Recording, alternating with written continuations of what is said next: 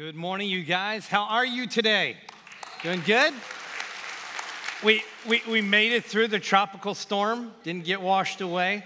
Um, so, hey, we're doing good, right? Every day above water is a good day for us. So, um, hey, be, uh, before we uh, kind of jump into things, I want to take a moment just uh, pray for Church of Motion uh, in Sarasota, Pastor David. By the way, they're doing great.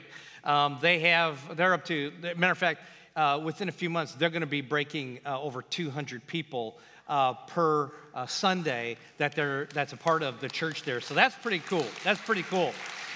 And I just want to, I just felt led to, to just lift them up today. So let's pray. Father, thank you so much for your grace and, and Lord, that your, your power in our lives. And we get to live our lives, Lord, not in our own strength, not in our own wisdom, but Lord, living from the overflow of the fullness of you being in our lives. And we thank you, God, for the life that is happening at Church of Motion. We thank you for Pastor David. We thank you for Brooke. We thank you for all the people there, God, that are just affecting their community in the most beautiful ways. God, may you continue to fill them uh, with your life. May, may they continue uh, to grow and prosper and discover exactly what it is to be the church of motion, the church that you've called them to be in Sarasota. God, bless them. May your presence be felt there and may lives be changed there continually, we pray. In Jesus' name. And everybody says, Amen. Amen. All right. So, um, uh, I don't know about you guys, but uh, you know, sometimes I think if I were someone uh, moving from a foreign country to the United States and English wasn't my primary language, and I was kind of listening uh, to what's going on in the national discussions and trying to figure out what the United States is all about, I think I would be pretty confused, right? I mean, I mean, let's face it, we have never been more socially and technologically connected, but more relationally disconnected from one another, right? And it's like everybody's talking, but nobody's using the same language, right? It's like everybody's saying something, but nobody ever feels heard.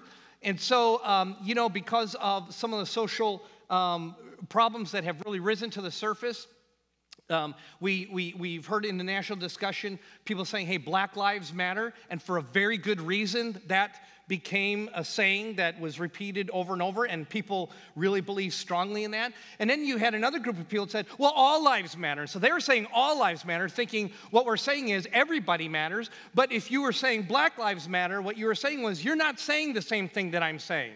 And a person that says all lives matter says, no, no, I'm saying the same thing. I'm just including everybody. But, but then you're saying, but, but you're not saying black lives matter. So because you're not saying what I'm saying, you're really not saying that I matter. And you're trying to say, yes, you do matter. And then someone else came along and said, blue lives matter. Right? Talking about law enforcement because of the real danger that law enforcement is dealing with in the loss of life. And so they're saying blue lives matter, which sounds like to the people who say black lives matter, you're not saying that black lives matter. We're saying we're not saying black lives don't matter, we're just saying blue lives matter. And the people saying all lives matter say, no, no, we all matter. And both groups are saying, we, you don't understand what we're saying.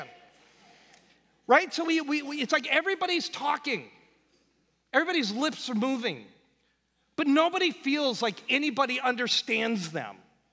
And nobody, under, nobody feels like they're being heard because we live in a, in a world and in a society that is so fragmented. That where, where people are in groups and people are digging into their, their kind of their own uh, foxholes and, and everybody's talking, but nobody's really communicating and nobody's being heard. And, and this isn't a modern problem. The, the, the idea of different groups and you're in and you're out and no, we matter and no, we matter, that is something that has always been a part of the human condition. It's been a part of the problem with mankind for so long. And as we, as we continue our series today, talking about the Holy Spirit, today I want you to open up your heart to a greater vision to an understanding that there's something powerful and supernatural that God has wanted to do and has been doing through the Holy Spirit that is meant to bring healing to these issues in our world and in our society. And that you and I play an important part in all of this. And there's something, a dream, a vision that has driven God for so long to fix what is broken in our world when everybody's saying different things and nobody feels heard and this group is in or that group is in and what is the solution to all that? Well, I'm going to take you today to a passage that for some they get a little scared when you start talking about the book of Acts and Acts chapter 2 and the Holy Spirit. But I want you to see a passage that, if you've been a believer for a long period of time, you probably have seen this passage, but you've probably seen it with the different eyes. And today, I want you to just open up your heart to what it is that God is looking to do and through the Holy Spirit. So I'm going to take you to Acts chapter 2, and I'm going to walk you through um, this passage. And this is so full of so much that, uh, that I, did, I just want you to, to, to follow along with this. So, Acts chapter 2 says, On the day of Pentecost, all the believers were meeting together in one place. Now, stop there.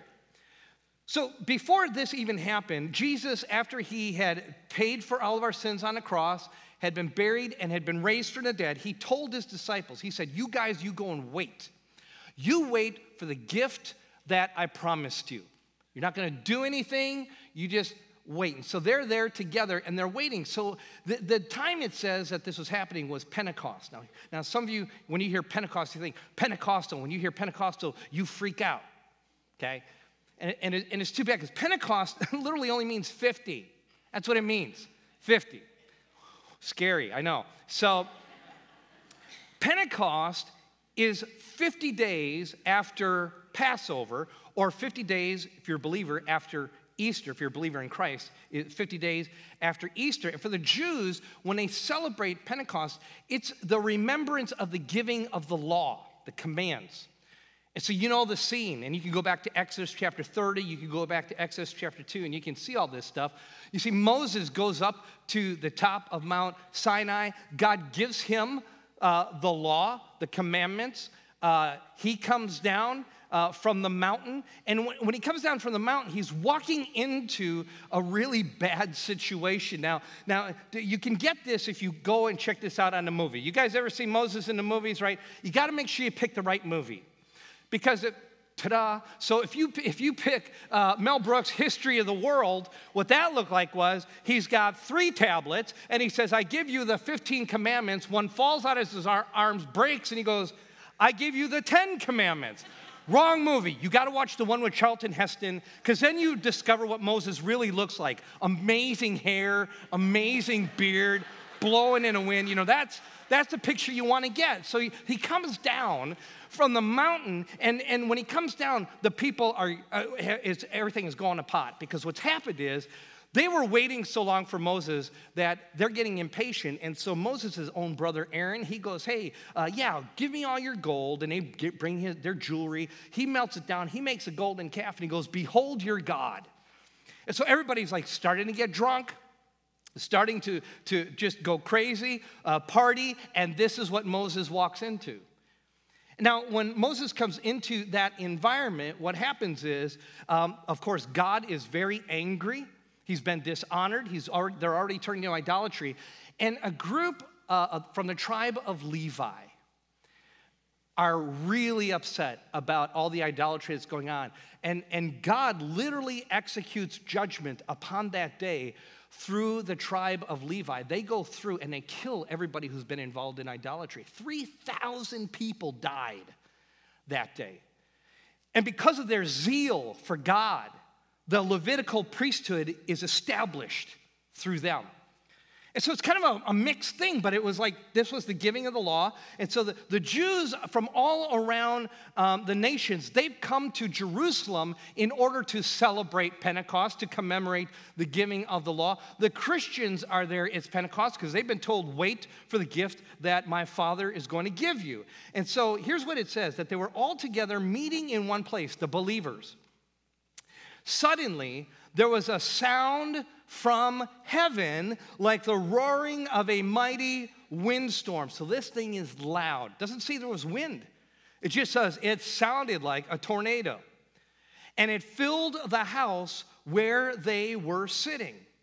Then what looked like flames or tongues of fire appeared and settled on each of them. So, little flames, you know, about that big, like a tongue, was a fire. God was manifesting the presence of the Holy Spirit by allowing tongues of fire to appear and settle on them. And everyone present was filled with the Holy Spirit and began speaking in other languages as the Spirit gave them this ability. Now, don't get all hung up on, on tongues. You got to see bigger.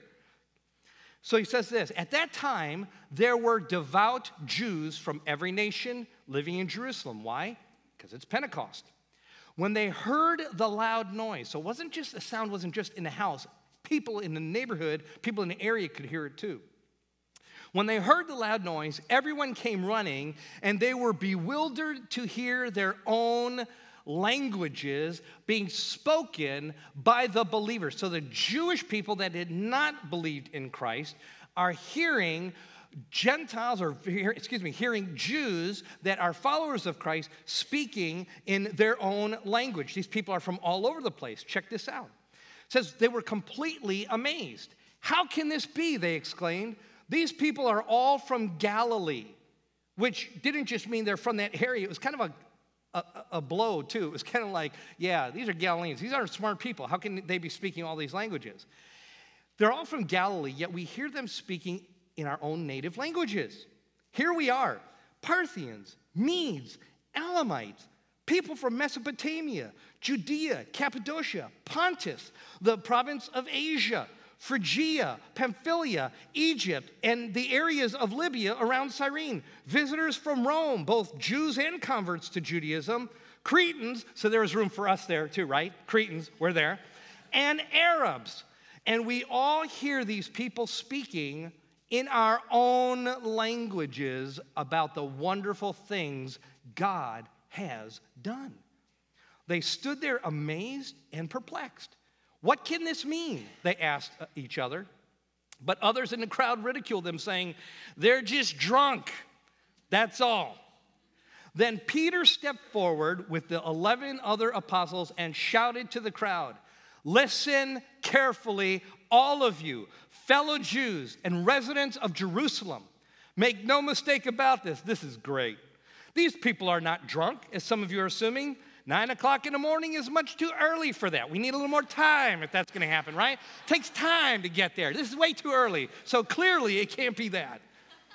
He said, No, what you see was predicted long ago by the prophet Joel. Here's what the, the prophet Joel had written In the last days, God says, I will pour out my spirit upon all people. Your sons and daughters will prophesy. That is, they're going to speak forth the glories of God. They're going to declare uh, who God is and the words of God. Your young men will see visions, and your old men will dream dreams. In those days, I will pour out my spirit, even on my servants, men and women alike, and they will all, uh, and they will prophesy. So it's not just a guy thing. It's not this patriarchal outranking kind of thing. He's like, no, this is, this is my move for everybody. And I will cause wonders in the heavens above and signs on the earth below, blood and fire and clouds of smoke. They will, the sun will become dark and the moon will turn blood red before that great and glorious day of the Lord arrives. But everyone who calls on the name of the Lord will be saved. Now, theologians have kind of gotten all you know worked up on this passage. Some are saying well so is this saying that it's everything that joel said? Is it saying that part of what joel said is happening? Is, it, is this is this that? Is it like that? Is it part of that? What what is this? And here's what you need to understand in all this is that what god is doing is he's coming with the power of the holy spirit. And he's doing this to because he's doing this work so that everyone who calls on him will be saved now, what does it mean to be saved? That's a very uh, kind of a church term. When we talk about being saved, when the scriptures talk about it, it means several things, not just one, it means several things. At the very least, it means this number one, since Jesus Christ died on a cross and paid for your sins, since he was buried, he died, he was buried, and has been raised from the dead, it is because of what Jesus has done that, that in taking all of your sin and all the blame for your sin upon himself, that you could be forgiven by God because somebody has paid your penalty for you. It means you can be completely forgiven of all your sin, past, present, and future. That God wants to remove all of that so that there's nothing between you and Him. At the very least, salvation has to do with that, but, but salvation isn't only that. Salvation also means freedom. It means walking in freedom. It means having a power in your life so you can now live differently. It's, it, it, it's so, so you're being saved not only from your sin, you're being saved from the power of darkness, you're being saved from yourself. But it means all those things. And he says that everyone who calls on the name of the Lord will be saved. So God is changing lives and he's saving people when they call on his name. Now, the Jews were like, what is going on here? And so Peter will give them a speech and he'll talk about, hey, you know that Messiah that you've been waiting for, that one you've been waiting for, your, the one that we've all been waiting for? Guess what? He's the one you crucified. And, and God has declared him to be the Son of God. He's raised him from the dead. He is alive today. And the Jews were like, oh, wow, we killed our Messiah. What can we do? What should we do about this? Peter replied in verse 38 Each of you must repent of your sins and turn to God. You've got to change your mind about the way you think about God and the way you relate to God. You got to change your mind about the way you live your life. You can't be the boss of your life. You've got to bow and surrender to Jesus. He is the Lord, He's the Son of God. And so He says, You must repent of your sins and turn to God and be baptized in the name of Jesus Christ for the forgiveness of your sins then you will receive the gift of the Holy Spirit. So, this is available to you too. Check this out. This promise is to you, to your children, and to those far away, all who have been called by the Lord our God. Now, when you see that little phrase, including those who are far away, something inside of you ought to jump up and down and say, Wow, I am so grateful for that. Because here's what he's saying Look, it's not just for the people that I'm talking to, it's not just for the Jews, but it's to the people that are in the future. It's for the people that are Gentiles. It's for the people that have had no connection with God. It's for everybody that God is calling. It doesn't matter how broken their life is, it doesn't matter how much of a mess their life is. This is for everybody. And so he says, This is, this is and, and who's, who's, who are those far away? Us. That's us. And look what he says. He says, Then Peter continued preaching for a long time, strongly urging all his listeners save yourselves from this crooked generation. Save yourselves from this crooked generation. Now remember, this is Pentecost. The next verse you don't have in your outline, but here's what it says Those who believed what Peter said were baptized and added to their church that day, about 3,000 in all. So, why does God send his Holy Spirit? Why do we need the Holy Spirit? What is it that God wants to do? Number one is this is he empowers me to live righteously. He gives, he sends the Holy Spirit because he empowers me to live righteously. What does it mean? What is righteousness? What does it mean to be righteous? Here's what it means do what's right. You do the right thing. You do the right thing for people, you do the right thing in God's eyes, you're righteous because you do what's right. That's what it is. Not complicated, right? Not always easy, but you decide to do what's right. Here's the problem is you know many of you came from uh, especially with deep religious backgrounds. Oftentimes there was so much of an emphasis on the rules the commands and the regulations. And no matter how hard you tried to do what is right you kept realizing i can't do this. It's impossible. And so what god does is rather than give you more rules and regulations is instead he gives you his spirit the Holy Spirit literally comes into your life to change your heart, to change your desires. That's why he keeps saying, I will pour out my spirit. I'm going to give my spirit. That's why they said, You will receive the gift of the Holy Spirit, because there's no way that you can live the life that God wants without his power. In Jeremiah 31, verse 31, you guys can write that one down. You'll see that God promised ahead of time. He said, I am going to put my spirit in you. I'm going to give you a new heart. Why? Because it's impossible to live righteously without the Holy Spirit living in us. And it's, so here's what it is it's not about God telling you more things what you're supposed to do in. Well, I'm going to try harder this time, and if I just try harder this time, then I'll be able to live righteously. No, you won't. Because you need the Spirit. So the Spirit of God comes into your life, and what He does is He changes your heart. He responds to you. He changes your heart. So now you, his laws are written on your heart. His, his commandments, what's right, is in you. And so now you're doing what's already in you, not being controlled by an external rule, but by an internal impulse to do what is right. And that's how the power of God works to live righteously. Paul puts it this way in Romans 8.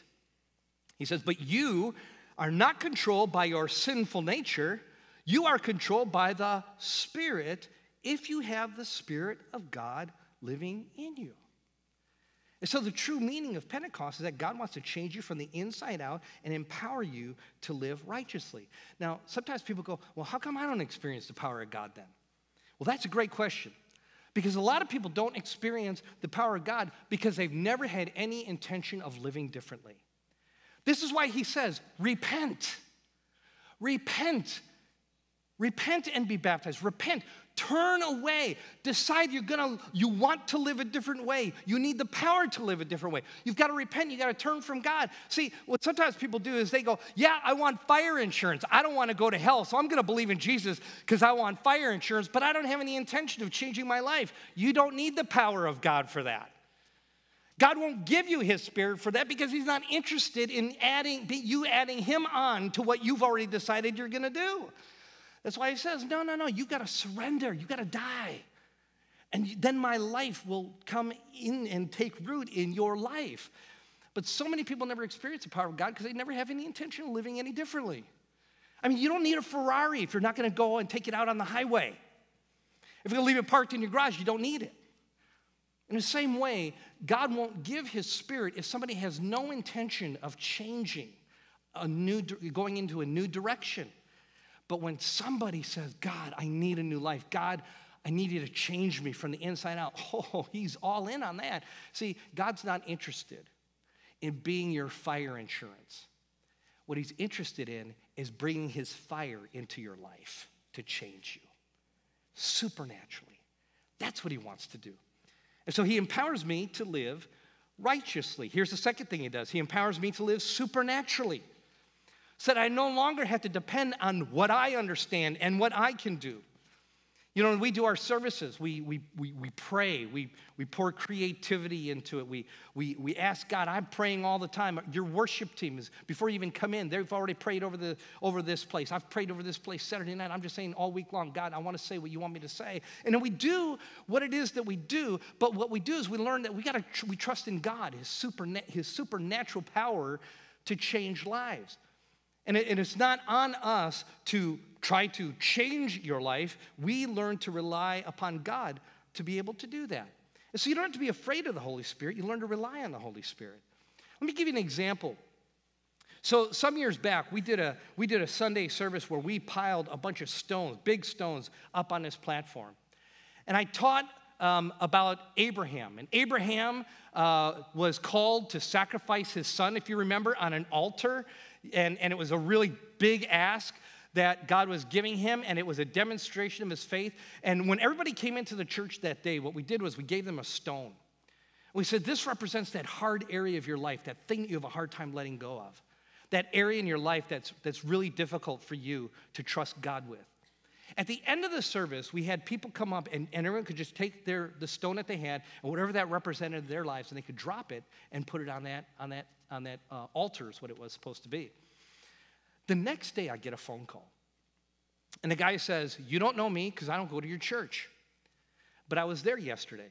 My wife was out of town and uh, I can't drive for medical reasons. And so, uh, my friend who goes to your church, he said, Hey, let me bring you to my church today since uh, you don't have a church to go to, uh, or you can't get to your church. So, let me take you to mine. So, he came, he, was all, he sat through all that, he was, he was a part of all that. And here's what he told me He said, Here's what you didn't know. He said, That rock, that hard place for me was my son. He said, My son got in a car wreck a year ago, and he's been in a coma ever since. He said, when, when you gave that invitation, I came up and I put that rock up there. And I said, God, I'm going to trust you with him. He said, and this is Monday, he called me. He said, Today, he started talking for the first time. Isn't that amazing?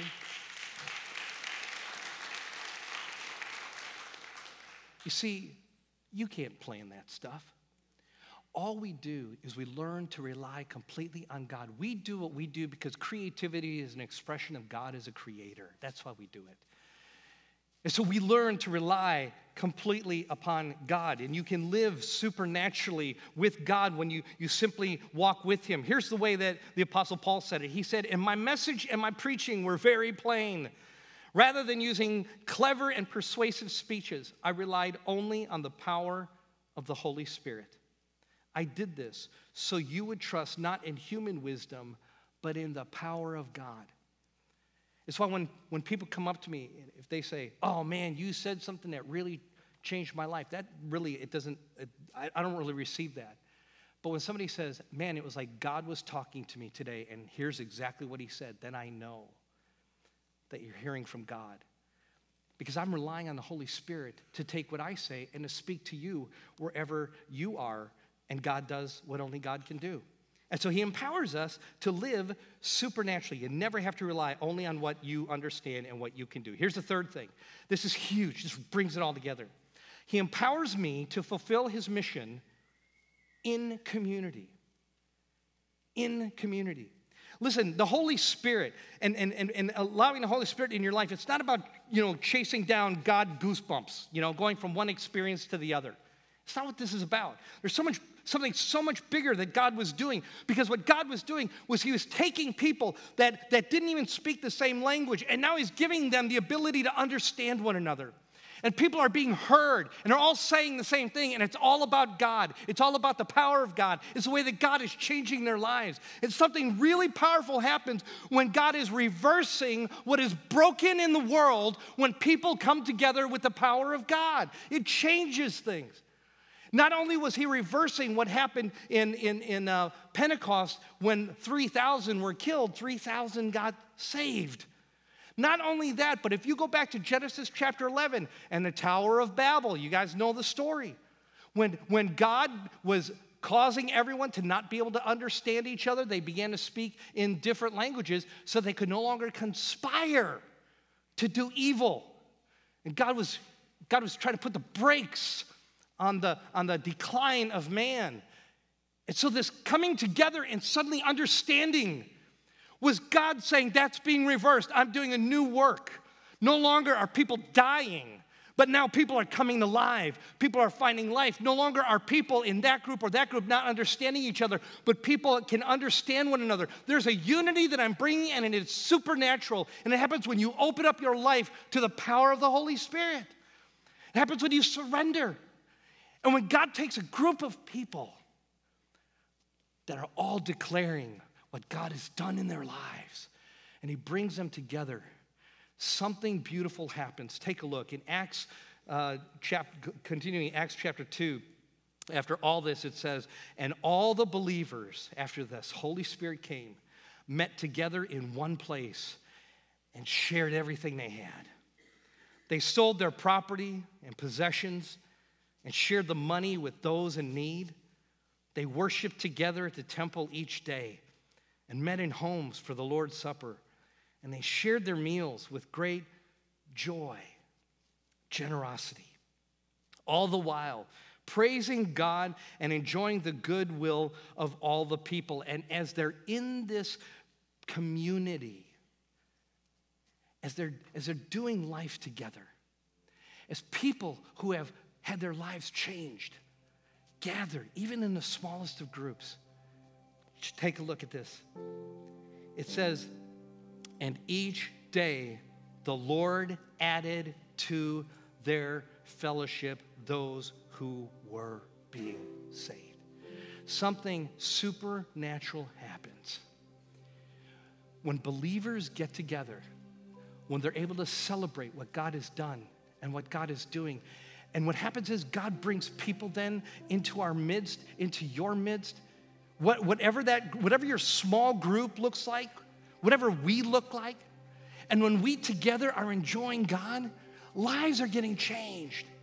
And God will continue to send people that, that need to hear your story and need to find freedom. See, those pictures, joy and generosity, you know what that is? That's a picture of freedom. That's a picture of people who have, I'm not afraid. And everything I have, God supplies. and I love you. And we love one another. And see, it's not just about I love God. No, it's about the love that God brings for one another as well. And it is a powerful, powerful thing. Of all the places where people ought to be able to find someone who can understand them and someone who can speak the same language, it's the church. If there's ever a place where the supernatural power of God can flow, it's when people who know Jesus Christ get together. Listen, I cannot encourage you enough. The reason we talk about small groups so much here is because it really is the place where people can find freedom. And God keeps sending people where there's that life, where there's that common language, that common praise, that common experience of the power of God. He just keeps bringing people in because He knows that their lives are going to be changed, that they're going to understand something they've never understood before, that they're going to come alive when they're around you. For some of you, you, you go, why have I never experienced the power of the Holy Spirit? Here's the question Did you ever surrender? Did you ever really repent? Or were you just adding God onto what you were already doing? He wants to be in your life and He wants to pour out His Spirit. For some of you, that means trusting Jesus Christ as Savior, really trusting Him and inviting Him to come into your life with His power. Repent, be baptized, and you will receive the gift of the Holy Spirit. This is for all of us. I'm going to ask you to close your eyes. Why don't you let today be the day that you settle once and for all who really gets to run your life? Why don't you let this be the day that you really surrender? Yeah, that means something's going to change in your life. But it's because you realize there's something so much better, so much more compelling, and so much more powerful that God has for you. And if you've never opened up your life to Christ that way, then I want to give you the opportunity right now. And right where you are, you could just tell Him, Lord God, I repent. I need you to come into my life and to change me from the inside out. I want you and your power to guide my life and to guide my desires. I don't need religion, I need you. And so, God, right now, I give you my life. I surrender. I believe you are the Savior and you are my Lord. You do in my life all that you want to do. Thank you, God. And Father, I just thank you for the life and the power that you offer us. God, that we don't have to act religious. God, we don't have to beat ourselves up with rules. But God, you've opened up a way that is so life giving to simply allow you in our lives to bring forth the beauty that you want to and to create the kind of community that anybody, no matter what their background, is going to be able to find someone who's going to have an effect on them and, and, and be able to love them, and their lives are able to be changed because of what they experience supernaturally right here in our midst. God, may your, may your presence be so strong in every small group. May your presence continue to be strong here on Sundays. And Lord, may you continue to pour out the life that you want us all to experience. We thank you, God. We love you and we praise you. In Jesus' name. And everybody said, Amen, guys. Let's tell God thank you, guys. Thank you, Lord.